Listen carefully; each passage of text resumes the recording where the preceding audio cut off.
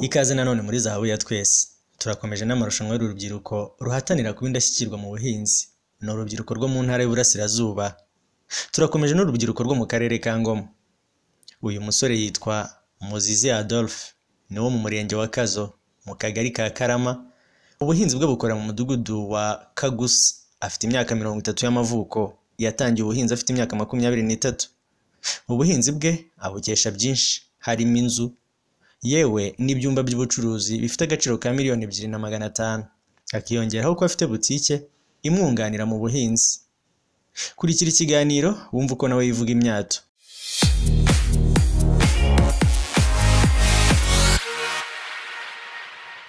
Bahe ikaze mu kiganiro cyacu.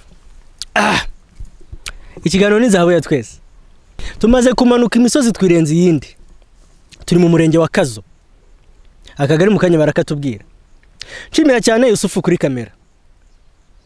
Ese wowe witeguye gukurikira ikiganiro cyacu? Nk'uko nabikubwiye murabibona turi mu murima w'amatunda, urusenda yewe n'ibindi. Reka tangire tubwira amazina ye ariko noneho icyo nakubwira ese uru rusenda urarubona uti kuri ubu ngubu urubyiruko rw'u rwanda rugomba guharanira kohereza ibintu hanze ariko natwe ubwacu tugomba guharanira kurya ibintu byiza murabona ko runo rusenda nta handi waruvana mbibutsa ko abafatanyabikorwa turi kumwe turi kumwe na btn tv by'umwihariko nk'abantu bateguye kino gikorwa. Yewe akaba ari n'abaterankunga bakuru. Tukaba kandi turi kumwe na snacks za didos. Didos abana mwese nimwe bantu mukunda kurya twa tu snacks twiza twa didos twongera amatama yanyu mukabyibuha mukumva ko mumeze neza cyane. Yewe mukumva ko namwe ubwanyu iyo mwariye didos muba mufite iki? Muba mufite itoto mutemba. Ewana mumeze fresh. Kandi nkubwire ko tuba turi kumwe na world relief. World relief ni NGO igufasha mu bintu byiza cyane kandi ikagufasha kugira ngo nawe ubwawe utere imbere yaba mu buhinzi yaba ubworozi yaba iki. Tukaba turi kumwe kandi na RIAF RIAF ni ihuriro ry'urubyiruko ah, rw'abahinzi by'umwihariko. Abo bose rero ni abafatanyabikorwa bacu muri aya marushanwa y'urubyiruko. Urubyiruko rw'iwacu turuteze imbere. Dushimira cyane abagoronome bose b'imirenge aho bava bakagera bakorera mu ntara y'uburasirazuba. Reka twanzike n'ikiganiro cyacu. Bwabo bakwita ngwiki nitwa muzizi adolphe. Ndi urubyiruko maze imyaka mirongo itatu y'amavuko. Ndi umuhinzi. Uri umuhinzi w'imbuto. Muzizi noneho ugiye kutubwira muri rusange ese watangiye ubuhinzi bwawe ryari? Ah, noneho kugira ngo n'abantu batwumva bashobora kubona twicaye gutya twakubye akabero bakagira ngo ibintu biroroshye. Ntabwo ari ibintu byoroshye cyane kuko twamanutse imisozi twirenze iyindi nubwo wenda dufite amahirwe yo kuba twabanje kurya kuri utu tubuto tumeze neza tumeze nabo ubwabo bazi ko iyo baduhuye natwo ku isoko tuba tumeze neza. Eh, ndaje banyitege mu kanya ndabereka icyo gukora. Ah, amenyo yanjye na yo ari tayari ari tayari kuza ku- kugira icyo abereka. Muzizi noneho tubwire ni ukubera iki wabashije eh, kujya mu buhinzi wagiye ryari mu buhinzi bwawe? Natangiye gukora ubu buhinzi bibiri na cumi na gatatu. Bibiri na cumi na gatatu ni bwo natangiye guhinga natangiriye ku buhinzi bw'urusenda. Ariko nyuma ah, maze kubona amafaranga nsaruye nahise nijya mu bucuruzi. Aho bucuruzi ndabukora ndabukora ngeze bibiri na cumi na gatandatu. Bibiri na cumi na gatandatu nahise ngaruka mu buhinzi nanone. Kuko icyo gihe nabikoraga bitari ibya kimwuga. Ahubwo nabikoraga avuga ngo nikureho amafaranga nyine by'urubyiruko mbona amafaranga ni nikoreye iby'ubucuruzi byonyine gusa. Ariko bibiri na cumi na gatandatu natangiye kubikora bya kimwuga noneho. Mbikore bya kimwuga kandi mbikore mfite eh, tageti icyo nshaka kugeraho mu by'ubuhinzi. Kubera ko nari maze gusobanukirwa neza akamaro k'ubuhinzi maze gusobanukirwa n'inyungu zirimo. Sibyo Ah, bibiri na cumi na ga- na gatandatu natangiye guhinga imbuto z'amatunda. Mpera guhinga eh, ariko mbere yaho nabanje kwica ndatekereza. Ese ko umuntu ndi gukura? Bibiri na cumi na gatandatu mvuga ko nari maze kugira imyaka nka makumyabiri n'itandatu makumyabiri gutyo haga hagati aho ngaho. Ndavuga nteko se ubundi amasaziro yanjye ni ayahe? Bizagenda gute? Ubundi ni iki mu by'ukuri mu myaka makumyabiri n'itandatu ngejejeho ni- nibitseho. Ko mbona mu by'ukuri igihe kizagera mu myaka itatu n'itanu ko amakuru ambwira ko eh, imbaraga zaba zigabanyutse nzagaragaza iki? Uvuye mu rubyiruko. Mvuye mu rubyiruko eh, ngiye mu kindi cyiciro. Ah, ni bwo niyicaye ndatekereza mvuga ese mu by'ukuri na Ah, ariko nyuma yaho eh, bibiri na cumi na gatatu nyine ngarutse nyuma ni uko muri aya mafaranga nakuyemo y'urusenda nabashije kuba nakunagura ikibanza. Ikibanza hafi y'umuhanda. Ndeda yenshi ndetse nshyiramo n'akazu gatoya. Ariko nacururizagamo hanyuma rero nyuma yaho ya cumi na gatandatu ni bwo natekereje ntese mu by'ukuri nakora iki? Hagati aho ngaho. Ndavuga none igiye mu buhinzi by'umwuga noneho mbikore bya kimwuga. Mfite intumbero. Numvaga mu by'ukuri hari inzozi nari mfite nshaka kuba nageraho byanga byakunda. Ah, numvaga nshaka kuba umucuruzi ukomeye icyo ni icya mbere. Ariko kandi birushijeho eh, nkabasha kuba najya gute nakorora n'inkoko. Bivuze nongera ibikorwa nkora byanjye. Byari ubucuruzi ariko norore n'inkoko. Ariko nkasanga noneho inkoko kuzorora bisaba iki? Ibishoro birebire. Bene ibishoro birebire bizava he? Bavuga reka njye mu buhinzi noneho rero. Noneho mu buhinzi nsanga noneho ubuhinzi n'ubworozi birajyana. Mpita mvuga none ngiye kubikora bya kimwuga kandi noneho uko umuntu agenda atangira atangira afite intego y'ikintu runaka ariko no cya kintu agenda yunguka ubundi bumenyi ubundi bumenyi uko bizamuka uko bizamuka. Nibwo rero natangiye eh, ubuhinzi eh, bw'imbuto mbuhera mu rugo ntangira ku bitsibo mirongo itanu. Ibitsibo mirongo itanu nahinze ku rugo nyine aho ngaho muri iyo pariseri nari naguze eh, ibitsibo mirongo itanu ndabihinga. Nyuma yo kubihinga ah, ni bwo nasaruye nsanga n'ibihumbi bya magana abiri na mirongo ine. Magana abiri mirongo ine reka nagure ntabwo nahita nyashora muri bwa bwa bworozi bwanjye bw'inkoko nashaka guhorora. Reka nagure ubuhinzi noneho. Nibwo nagiye guhinga hehe ahandi hantu eh, mpatera insibo ijana na mirongo inani n'eshatu. Ubwo ni ibitsinsi ijana na mirongo inani na bitatu. Ijana na na bitatu. Ibyo ni ijana na bitatu narabisaruye. Nkuramo amafaranga agera mu bihumbi magana inani. Ibihumbi magana inani.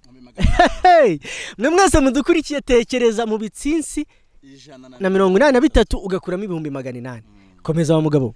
Ubwo ayo magana inani nkubwiye ubwo ni aya mbere nasaruye urushubije ntago ruraza. Natangira no kurusarura ubu ngubu. Muri kubyumva byanga byakunda ntekeza ko ubundi itunda ryera imyaka irenze ibiri. Rirera kuko iyo ryeze ushobora kurica rigashoboka bushyashya. Uri kubyumva ariko ngewe urwo n'urushubije urwo ayo ya mbere nkubwiye na yo nasaruyemo yezeho byonyine gusa. Ayo ngayo rero niyo nagize gute? Nti ntabwo ndi buyashore mu nkoko nanone kubera yuko aracyari makeya. Ndashaka korora byibuze inkoko magana atanu. Nkasanga aya mafaranga azagura za nkoko zonyine gusa. Nibwo nashoye hehe noneho mu wundi murima. Ari uyu nguyu noneho turi- mu ngubu muri mureba. Nagize gutya rero ni umurima eh, nahinze mu byiciro. Ni isambu eh, nini ingana na hegitare mu by'ukuri ariko ntabwo nahise nyihinga icyarimwe ngenda mpinga mu byiciro. Mpinga mu byiciro. Nabanje guhinga ibitsinsi ijana na mirongo itanu. Si byo ari byo ubona ngibi bikuze tutangiye no kuba twasaruramo. Hari n'andi na yo matoya akurikira agera kuri eh, kuri mirongo itanu y'ubwayo hari n'andi na yo akiri matoya akiri nkitera si byo agera kuri ijana na yo. Yo ari hirya hariya eh, uko uwo murimo ungana murabona uko ungana. Hanyuma kandi ndateganya none ejo bundi mu kwezi kwa cyenda imvura iguye ndateganya kongera guhinga ndi magana abiri. Kugura uyu murima none nuko nzajya nongeraho ngenda nshyiraho nshyiraho nshyiraho nshyiraho mpaka ngeze kuri za kuri za nzu. Ariko mfashijwe n'iki? N'aya mafaranga ndi gukura hehe nakuyemo wa murima wa mbere nahinze. Kubyumva baguze n'akabanza. Eh, hamwe naguze akabanza. Bo ndangije rero ubu ngubu tuvugana niyo target mfite intego mfite ni ukujya gute? Ni ukuba nakorora inkoko na zo zikamfasha iki kuba nakora ubu buhinzi mbona ifumbire mu buryo bworoshye n'ibindi n'ibindi bitandukanye. Ariko hagati aho ngeze kubabwira yuko nubwo nari mfite igitekerezo cyo korora inkoko. Ariko uko umuntu agenda yinjira mu kazi agenda agira ikindi gitekerezo. Ikindi gitekerezo ikindi gitekerezo. Nagizeho igitekerezo kivuga ngo uti ngiye kubikora bya kimwuga. Sibyo? Ariko noneho hagati aho ngaho ndimo ndifuza noneho kuzatunganya wa musaruro wanjye ku giti cyanjye niyo netageti noneho ubu by'inkoko namaze kubirenga. Kuko byanga byako ubushobozi bwo burahari. Kuko nakubwiye ko eh, hari udufaranga mfite. Utu dufaranga ngiye kubaka cya kiraro. N'inkoko ndetse na zo zibasha kuba zari gute zaboneka. Ubu inkoko zo bisa nkaho na- nashyiraho vi ubu ngubu byanga byakora byarangiye. Ahubwo nahise mpindura icyicaro noneho Eh, eh, irakoze. Nta kibazo rwose ubu ngubu irakoze. Eh, ubu nshobora kuba ndimo ntekereza kuvuga ngo noneho umusaruro mfite ndi guteganya kuzabona mu minsi iri imbere. Ndimo ndifuza kuzawutunganya nkajya nitunganyiriza amatunda nkakuramo amaji n'ibindi bitandukanye urusenda nkarwitunganyiriza nkigira ku isoko.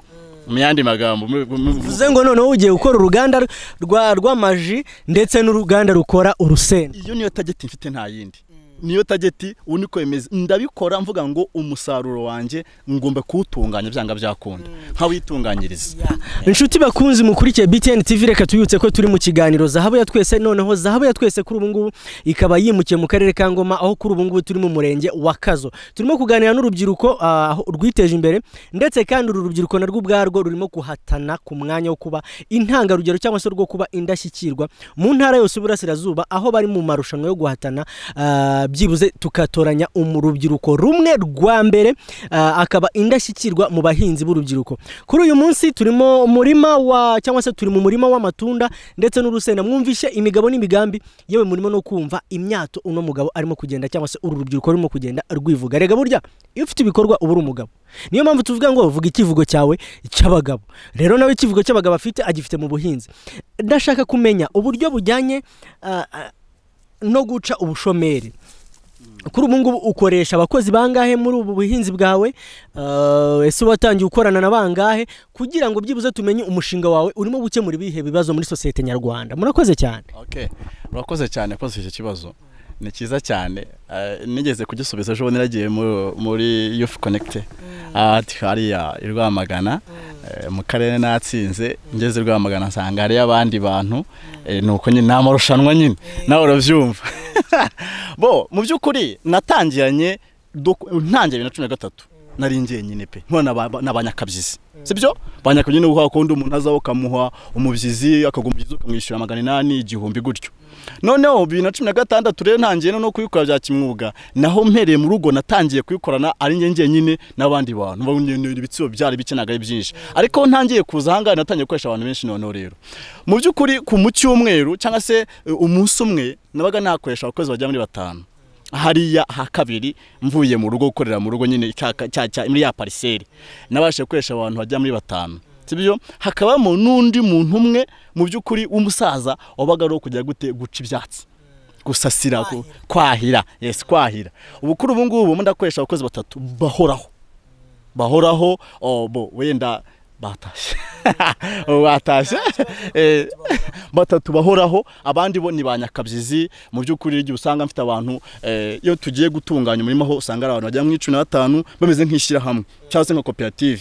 Baba ari abantu benshi ariko uko ubwije n'uko bukeye imirimo igenda igabanyuka. Uko akazi kabaye kenshi mu kubagara baba benshi. Uko bi- bi- bisabye ngo tujye kuhira bariyongera. Ko nkanga sinakohe sinahuhira njyenyine. Ntabwo nakwira ngo nuhira hariya ngo bishoboke. Ahubwo nuhira ahanga nkoresheje abantu benshi kugira ngo ugiye gute birangire neza. Ariko byanga byakondana abantu cumi na batanu ba nyakabyizi abandi batatu ni abahoraho. Hanyuma ikoranabuhanga ukoresha mu buhinzi bwawe ni irihe? Bo nkoresha telefone. Nkoresha telefone eh, igezweho. Whatsapp. Kuko yo ariyo nkoresha cyane cyane iyo nagize ikibazo cy'ubuhinzi eh, mbasha gufotora amashusho. Amashusho. Amafoto plito nkayohereza ku bahinzi bagenzi banjye. Cyangwa se ku bacuruzi nyongeramusanga ntero mumfashe mumbwire. Mfite uburwayi bumeze gutya ndakoresha uhe muti? Kugira ngo byibuze agiye gute mbashe kuba nabona ibihingwa bikomeza kuzamuka mwe mu agronomi wacu w'umurenge nawe aramfasha cyane. Ndamwohereza akandangira umuti. Eh, hanyuma kuhira kuhira nkoresha kubera ko amazi mfite ari makeya. Mwabonye ko ni iriba ntabwo ari amazi menshi ahubwo nkoresha mashine ni imashini dukoresha tu- tunyonga. Eh, baranyonga. Ya, ntayo nazanye. Ariko baranyonga tu baranyonga. Ni za zindi bahagararaho? Eh sibe yawo cyo bakanyonga. eh yes yes yes. Eh. Ntabwo ishobora kubivuna uyikoresha mu gihe abandi baba bakoresha moteri. Bo birumvikana. Ya, imashini iravuna. Mashine iravuna ariko nanone si uko wenda twabuze ubushobozi bwo kuba twagura moteri. Ahubwo twa moteri ni amazi angana gutya? Amazi ni makeya aho dukorera. Amazi ni make ushyiramo moteri narayizanye na yo.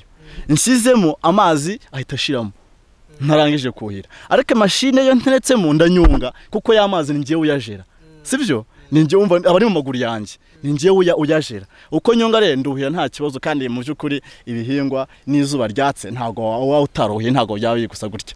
Ntibibaho rwose ntibishoboka. Ubwo rero mu by'ukuri nkoresha iyo mashini bitewe n'iki? N'amazi mfite uko angana naho moteri yo na yo kuyikoresha ntacyo byaba bitwaye reka tugere ku musaruro. Kuri ubu ngubu umusaruro wawe iyo uwusaruye ah, uratubwira mbere na mbere ku, matunda kandi turimo no kugenda tugana ku musozi w'ikiganiro cyacu eh, zahabu ya twese. Ah, umusaruro wawe ubundi iyo uwusaruye ingunga imwe ukuramo nk'amafaranga angana iki? Bo mu kwezi. Reka mvuge mu kwezi. Tubwira mu byiciro. Bo, mu cyumweru ushobora gusoroma byibuze ibiro ijana by'amatunda. Ah, ubwo nk'aha ngaha kubera ko ho ari hashya ndavuga hariya nyine ho ndimo nkura amafaranga ko nakifashisha ibindi bi- ibindi bintu. Nshobora gusarura ibiro ijana. Noneho mu cyumweru niko nsarura. Sibyo? Buri cyumweru nsarura ibiro ijana buri cyumweru ibiro ijana. Noneho mu mezi usarura ibiro magana ane. Ibiro magana ane. Byanga byakunda ubu rero ku isoko icyo kimwe kiragura magana arindwi. Uhita ukuba nawe ukabyumva. Eh uhita umva ko mu by'ukuri ibiro magana ane kuri magana arindwi n'ibihumbi magana abiri na mirongo inani. Twemeze. Ni magana abiri na mirongo inani mba nsaruramo mu kwezi. Kandi amatunda uyasarura igihe kirekire cyane. Nk'ariya nsarura natangiye mu kwezi kwa cyenda. Hanyuma ku bijyanye n'urusenda? Urusenda rwo ah, ni bwo nkitangira kurusarura. Kuko kuva bibiri na cumi na gatatu maze kurureka akanga ni ho nabashe kuruhinga. Ubu ntangiye gusarura ibiro mirongo ine. Eh, iyo nsaruye ni ibiro mirongo ine nsarura mu cyumweru nabwo. Ubwo mu kwezi ni ibiro ijana na mirongo itandatu. Hanyuma ah, ubwo bifite nk'agaciro k'amafaranga. Agaciro kayo ikiro mo kiragura amafaranga magana atandatu. Bo ikiro mo kuri magana atandatu eh, reka ngerageze kubikora ntacyo bitwaye niba bitabangamye. Eh, ubwo ni ukuvuga ngo eh, ni magana ata- magana atandatu gukuba ijana na mirongo itandatu. Sibyo? Ibyo ijana na mirongo itandatu. Ibihumbi mirongo icyenda na bitandatu. Mu kwezi. mu kwezi. Mm. aho ngaho mu byibuze abakozi ni na expense uba wakoresheje cyangwa se amafaranga uba wakoresheje byibuze uba usigarana nk'inyungu yangaye turagira ngo byibuze urubyiruko ru- rudukurikiye muri kino kiganiro nubwo muri mu marushanwa. Byibuze rwumve ko narwo ubwarwo rushobora kujya mu buhinzi rukagira icyo ruvanamo. Ubundi iby'amarushanwa nta nubwo njye mbi- mbirebaho cyane. No ahubwo icy'ingenzi gukora byo bimeze bite? Ndabyitaho gute? Ese abandi bo babibona bate? Ese byibuze hari aho bitera amatsiko? Ku- ku byiza ko baba babikora nabo. Cyo ni cyo cy'ingenzi. Nta marushanwa yo nta marushanwa nyine nta kundi ni byo uratsindwa cyo gatsindamo kimwe. Ariko twe turavuga ibintu bijyanye no kugira ngo dufashe bagenzi bacu. Kuko ntekereza ko abari bubibone ni ubutumwa. Ibijyanye n'umusaruro rero cyangwa se igisigara muri ayo mafaranga ibihumbi magana atatu na na mirongo eh, irindwi n'andi tubona mu kwezi iyo dukuyemo abakozi byanga byakunda dusagura amafaranga agera mu bihumbi magana abiri. Byanga byakunda magana abiri turayisagurira. Ayo mafaranga yizigamwa na bake. Ni bake cyane ni bake cyane kabisa rwose. Icyo wabonye cyo nuko mbona ko ubuhinzi iyo wabukoze neza ukabukora kimwuga utawujagagura witonze ufite tageti yaho ushaka kugera byanga byakunda ubigeraho. Byanga byakunda. Nubwo hatabura imbogamizi ariko byanga byakunda urakurageza ugerageza ugakora nta kibazo. Ni icyo usaba urubyiruko muri rusange? Bo icyo nabasaba. Numva cyambere cyiza ubundi wenda eh, nsubira inyuma gatoya ndi umuyobozi w'urubyiruko ubundi. Mu mudugudu iwacu wa mpando nubwo nkorera muri kagusa ariko ndi umunyempando eh ariko ubundi ngira amatsinda y'urubyiruko. Ayo matsinda y'urubyiruko rero kenshi na kenshi nifuza ko twashyira ngo tugafatanya nubwo nabitangiye bakabona byasaba ibishoro birebire akabivamo ariko byibuze icyo mbasaba ni uko ba- ba- ba- bakomeza. Nibakomeze be gucika intege noneho aho bari hose bakore nta murimo w'umunyagara ubaho Eh, hari abagiye mu by'ubucuruzi hari abagiye mu myuga ariko nibakomeze icyo navuga cyo nibakomeze kandi n'undi wese waba wumva ashaka kuba yagira icyo akora cyangwa se ushaka kwinjira mu mwuga w'ubuhinzi byanga byakunda ashobora kutwegera tukamugira inama y'uko yabigenza uko yatangira. Ashobora ati se kuba hariya ko ageze hariya byagenze Ah, ushobora kubwira uti byiza utangira gake gake. Step by step intambwe ku ntambwe. Hanyuma twamufasha muri make. Magambo make icyo nabwo urubyiruko wacu dushaka wese twamufasha twamuha n'amahugurwa kandi uretse n'abo ngabo n'abandi baraza tukabafasha uretse n'ubu ngubu bivuze n'abandi baraza tukabafasha nta kibazo. Ya reka tubashimire cyane mwese mukurikira ikiganiro zahabu ya twese zahabu ya twese. Ni ikiganiro mukurikira kuri BTN TV tubabwira ko kuri ubu ngubu rwose abafatanyabikorwa tuba turi kumwe muri kino kiganiro. Harimo BTN nk'umuterankunga mukuru w'ano marushanwa y'urubyiruko rwacu. Urubyiruko rwacu rugomba kuhaguruka rugakora by'umwihariko rukajya mu bijyanye n'ubuhinzi. Tugomba guteza imbere ubuhinzi n'ubworozi. Turi kumwe na snacks za Didos. Snacks za Didos nizo snacks ushobora kurya nawe ubwawe ukumva ko utoshye ukumva ko nta kibazo ufite. Nimba ugiye mu kazi banza uhekenye kuri turiya dusinakisi kugira ngo nawe ubashe kumva ko uri bukore akazi umeze neza umeze nta kibazo na kimwe ufite. Turi kumwe kandi na world relief. World relief na yo turi kumwe muri ano marushanwa ni abaterankunga ba- bacu bakuru rwose bakomeye kandi tukaba turi kumwe na riyafu riyafu ni ihuriro ry'urubyiruko rukora ubuhinzi. Reka nshimire cyane mugenzi wacu ah, twari turimo kuganira by'umwihariko ah, muri buno ubuhinzi rwa urusenda watubwiye uti rugira ibihumbi byibuze mirongo icyenda na bitandatu kandi wanatubwiye ko uteganya gukora uruganda. Reka twifurize kugera kuri ibyo byiza byinshi ushaka kugeraho. Ya, murakoze nanjye ndabashimiye. Imana ibahe umugisha kuba mwadusuye reka nshimire kandi mugenzi wacu yusufu wadufashije kuri kamera nshimira namwe mwese muri ku buhanga bw'ibyuma. Mbabwira ngo ngewe wakoraga kino kiganiro ndi imana yawunda jean paul. Bayi bayi cawu cawu ino ni zabuya twese.